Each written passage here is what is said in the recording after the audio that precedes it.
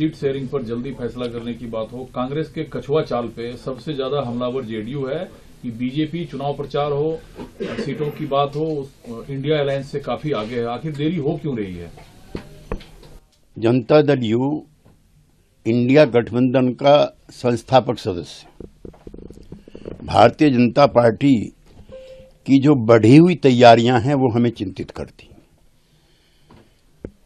India गठबंधन के संगठनात्मक ढांचे से लेकर के, उम्मीदवारों के चयन से और संयुक्त सभाओं के ना होने पर हम चिंतित भी हैं और कंसर्न फील भी करते हैं और चाहते हैं कि सब चीज़ जल्दी दुरुस्त हो। तो आपका खुद का बयान है कि कांग्रेस कंफ्यूज है। किन अर्थों में कंफ्यूज है? कांग्रेस किसी चीज़ पर फैसला नहीं कर पा रही है। कल आरजेडी के साथ बैठक हुई, फिर भी सीट शेयरिंग पर कोई कॉन्क्रीट निष्कर्ष नहीं निकल पाया।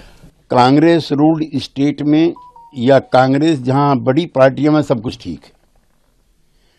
किसी के साथ कोई सीट शेयरिंग नहीं है, लेकिन जो non Congress non BJP ruled state है या जहाँ उनकी ताकत ज़्यादा है, वहाँ अनुपात के से अधिक सीटें मांगना कांग्रेस पार्टी का अव्यवहारिक काम है सर बयान देते रहते हैं। राम मंदिर प्राण प्रतिष्ठा कार्यक्रम 22 को होना है। उन्होंने सावित्रीबाई फूले को कोट किया, ज्योतिबा फूले को कोट किया कि मंदिरों में जाने से शिक्षा नहीं मिलता, मंदिरों में जाने से इलाज नहीं हो पाता।